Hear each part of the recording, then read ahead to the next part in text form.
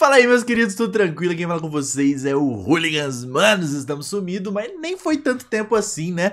Foi aí um pouco mais de uma semana, uns oito dias mais ou menos sem postar vídeo no canal, mas foi por um bom motivo, um motivo que vocês vão saber agora nesse vídeo, que vai ser um vídeo meio aleatório, um vídeo meio, talvez, que não seja tão objetivo, mas que vai trazer, é, vai esclarecer muitas dúvidas que o pessoal que assiste o canal aí tá achando que eu tô largando o WoW de novo, tá achando que eu tô meio sumido. Podem ficar tranquilos, meus queridos, porque eu vou explicar tudinho pra vocês nesse vídeo. Então, deixa o like aí pra nós, pra dar aquela força, aquela moral e se inscreve no canal caso você não for inscrito, beleza? O restante das coisas estão tudo na descrição do vídeo, rede social, Discord, é só chegar junto. Tamo junto. Manos, primeiramente, Vou mostrar pra vocês como estão meus chars, né? Porque vocês sabem, eu fiquei um tempo sem jogar, cerca de dois meses, eu fiquei um tempo sem jogar o WoW, e aí eu voltei e comecei a jogar que nem um doido pra correr atrás do prejuízo pra começar bem o Shadowlands, né? Então, basicamente, manos, a galera que tá acostumada a me ver no canal aqui sempre me vê jogando de paladino. Esse paladino aqui, ele tá 466, o transmog dele não tá bonito, tá meh, mas ele tá batendo muito, velho, ele tá batendo muito. Eu tô conseguindo fazer raid heróica com ele tranquilo,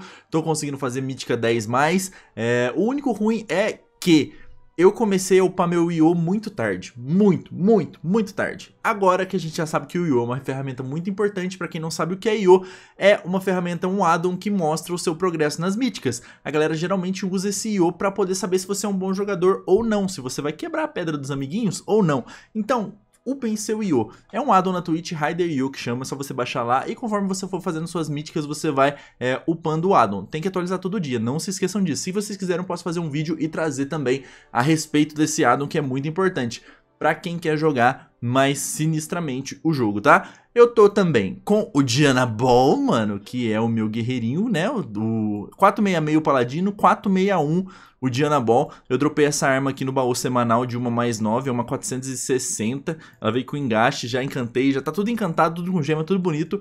E eu ainda não testei ele em Mítica depois que eu dei um upgrade nele pra 461. Eu quero testar isso, eu vou trazer vídeo pra vocês, tá? Não, não se esqueçam de comentar aí que vídeo que vocês querem que eu traga no canal. Se é de guerreiro, se é de Monk Healer, se é de paladino, porque agora a gente tem uma alta gama pra poder fazer conteúdo pra vocês. Isso é, isso é bacana, tá? É, o guerreirinho, bacana demais, tô jogando mais de fúria, tá? Ele tá equipado pra fúria, mas eu arrisco de armas um pouquinho, mas fúria é o meu preferido no momento. O Maui, que vocês viram eu jogando, né? Fiz vídeos, fiz vídeos pegando o set do Trolls Andalari, que é o Heritage Armor, né? Deles, quando você pega level 110. A minha capa nele eu não consegui fazer nenhum nível, velho, de capa dele. O Dianabol tá level 10 da capa, o Whey Protein tá level 15 já. E já não, né? No final da expansão não fiz mais que obrigação. E ele é difícil, velho, porque eu tô equipando de healer, aí quando eu mudo pra DPS parece que eu não tenho dano, parece que eu não tenho sustain, sabe? E pode falar que eu não sei jogar de Monk DPS, não gostei muito. Confesso pra vocês que não foi uma parada que me chamou muita atenção. Em compensação, o healer do Monk é gostoso. É gostoso de jogar. A galera fala que é meta? Pode ser meta, mas... A gente entra num, pro... num problema, porque eu joguei de Xamã. A treta, eu joguei com esse bicho aqui por causa de um cara, um ex-youtuber que a gente vai trazer de volta pra esse mundão sem fronteiras do YouTube aqui também, que é o Brino. Se vocês forem no canal dele lá, vocês vão ver que ele também grava vídeos de olho, tem vídeo de druida, tem um monte de coisa. É, tá na descrição desse vídeo aqui. E, mano, ele falou, ele ficou na minha cabeça, Hooligans, Xamã é muito bom. Hooligans, ó, o Xamãzinho Healer é da hora. Xamã é muito da hora de jogar, vamos jogar de Xamã. E aí, cara, por estar jogando de, de guerreiro, eu falei, vou testar o Xamã Enhancement, Enhancement, que é um nome difícil de falar, né? Que é o aperfeiçoamento. Eu gosto de chamar de Xamã Inhame. Já comeram inhame? Então, Xamã Inhame. Eu costumo falar assim. É... Joguei. Aí eu falei, cara, bom, velho, vou upar. Ele tava level 101, ele tava excluído, eu desexcluí, o P o level 112 e ele tá aqui paradinho. Mas esse não é o clímax da nossa história, desse vídeo que vocês vão ver daqui a pouquinho. Não pule os comerciais, aqueles caras. É, temos o Rulineiro que eu dei o bust, né, que eu, mano, caguei fazendo isso aqui, velho, porque eu não consigo jogar de Rug. É, é diferente, sabe? É um... Ele é melee, mas a pegada é diferente. Se vocês querem ver um Rug bom, vai ver o Fugitivo. O Fugitivo faz live de, de Rug todo dia. O cara é 3.200 de Io, né? Que é o Rider Io que eu falei pra vocês antes. E vale a pena porque o cara é um monstro. E é gente boa também. Então pode ir lá, que é GG. Aí tem o Crisauer Precisinho que eu pei só por upar. O Durateston, que tava nos planos levar ele pro level 120 também que é o nosso Demon Hunter, né? Porque Demon Hunter tá meta nessa BFA, velho. Você vê um Demon Hunter na PT, praticamente ele consegue fazer tudo. É, levar o dano lá na lua, porque junta íris com, com raio ocular, com salva-viu, e o cara arrebenta no DPS, velho. Corrupção deixou ele muito forte. E eu criei um Life Giver que é um druidinha, né, velho? Que eu queria ter um druidinha Troll Zandalari só por causa daquela forma do, do coisa. Mas eu não vou upar isso aqui, não. Manos, agora a gente chega no nosso clímax da história. Por que que eu tô falando pra vocês? Porque eu tava na live do Dan Renner, geralmente eu fico na Twitch assistindo live também, muita gente aqui do canal já me encontrou no chat de outros streamers da Twitch, eu fico trocando ideia com eles e falando a respeito do jogo, porque assim como vocês, eu também procuro uma forma de poder é, me aperfeiçoar, e tem muita gente que sabe muito do game, velho, tá ligado? Eu fico olhando e falo, meu Deus do céu, eu sou muito noob, mas estamos aí, né? A gente não, não podemos reclamar porque tem sempre alguém mais noob que nós. E se você tá vendo esse vídeo aqui, pode ser por algum motivo que esse noob seja você. Mas brincadeiras à parte, manos. É... Eu tava conversando com o pessoal e a gente, cara, a gente falou de servidores. E o pessoal fala, mano, sempre recomendei pro pessoal aqui no canal, Hooligans, é, qual servidor que eu devo jogar? Aí eu falava, Nemesis pra Aliança, Azralon pra Horda. Só que em tempos de crise econômica, gerou esse assunto e o Dan Renner ele joga na área 52. E aí, por um acaso, surgiu esse assunto de servidor e a galera falou que no late game, no, quando você tá upando, foda-se o servidor que você tá. Mas quando você chega num final, no indie game, que você quer focar mais, às vezes está num servidor brasileiro, ou seja, um Nemesis, um Azrael, um Ragnaros, um outro servidor que tem uma má fama, pode ser que te prejudique de alguma maneira. Não tô falando. Já, já Cara, já senti na pele o que é jogar com pessoas desse servidor, mas a gente não pode generalizar. Por exemplo, uma pessoa do Ragnaros, ela ser um. um você ser trollado, você, os caras que tá, geralmente que tá da dungeon, você não pode falar, ah, todo mundo é assim. Eu já fiz PT, é, eu curei uma mais 10, eu acho. Não, uma mais 9 com esse, com esse Monk aqui. Eu curei uma mais 9 com a PT Full Ragnaros e eu do Aslan, e os caras era violentíssimo. Os caras jogavam muito. Eu falei, mano. Tá ligado? O que eu tô te dizendo? Não dá para generalizar, mas em questão de economia, se você pensar em jogar num servidor americano, pode ser que você se dê melhor. É, eu ainda não fiz o teste, né? Eu vou começar a upar profissão agora, vou começar a fazer tudo lá num servidor. É, no, vou jogar no Área 52. A partir desse momento que vocês estão vendo esse vídeo, eu já estou com um plano lá no Área 52. A galera que joga comigo, o Brino, o Ioded, o Kaleu, a galera um salve, o Malak, para todo mundo que topou essa ideia, topou vir junto para esse servidor, começou a jogar comigo, fez um ruchão para poder upar um personagem. Obrigado, galera. A gente vai tentar sobreviver em um servidor norte-americano. Quais são as dificuldades? A língua, né? Você vai entrar numa guild que o pessoal vai falar inglês, você vai é, precisar de alguma coisa tudo em inglês. Pra melhorar isso pra mim, tipo, pra eu já ir me acostumando, eu coloquei o WoW em inglês. Coloquei... Ô, meu bem! A minha gata quer... Um segundo, galera. Vai embora. Hello. Então, onde que eu tava? É. Desculpa, totalmente imprevisto isso, porque ela tava em cima do guarda-roupa.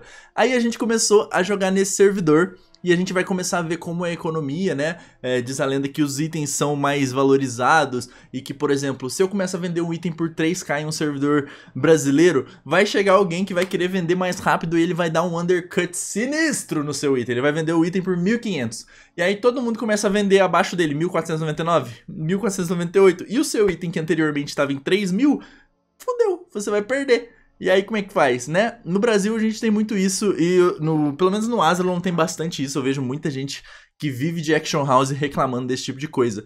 E eu vou fazer esse teste no servidor gringo. Aí, além da gente ter mais chance de ser pugado, né, para fazer as masmorras, é lógico que o Hider.io vai ser uma ferramenta muito importante para poder ajudar a gente. Não adianta a gente mudar para um servidor é, e ser um mal player, um servidor que tenha um nome um pouco melhor, né? Então, por exemplo, se eu for para lá e eu continuar fazendo cagada e eu continuar fazendo coisas erradas, o meu IO não vai subir, a gente não vai conseguir fechar pedras e eu vou continuar sendo um jogador mediano.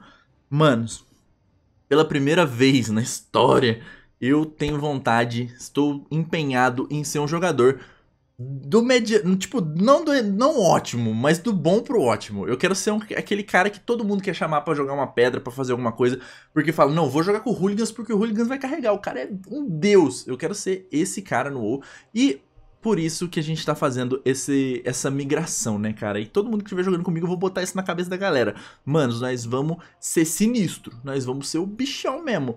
E aí, caras, tendo em vista disso, esses são os meus Azalon, né? Como eu falei pra vocês que eu ia mudar de servidor, vamos dar um Change Helm aqui. Eu tenho 8 no, no Nemesis aqui, mas vamos deixar baixo, vamos deixar baixo. É tanto up jogado fora que não sei o que, que eu faço da minha vida. Temos um player no Área 52 que que é? Olha que delícia, velho. Meu Deus do céu. Nossa senhora. Eu não aguentei. Eu criei... Porque, justamente porque eu falei pra vocês antes, eu gostei de jogar com o Xamã Yami, aí eu criei um Yami, só que ele tá de healer aqui, porque pra upar de healer é muito fácil. Eu vou entrar no jogo aqui, porque tem algumas coisas que eu preciso falar pra vocês antes de acabar esse vídeo. Manos, então se eu esquecer de alguma coisa, depois eu faço um outro vídeo complementando, mas é muito importante falar pra vocês que é um mundo novo. A gente tá começando meio que do zero. Quando você muda de servidor, você não pode passar itens. Né? A não ser que o item esteja vinculado à conta.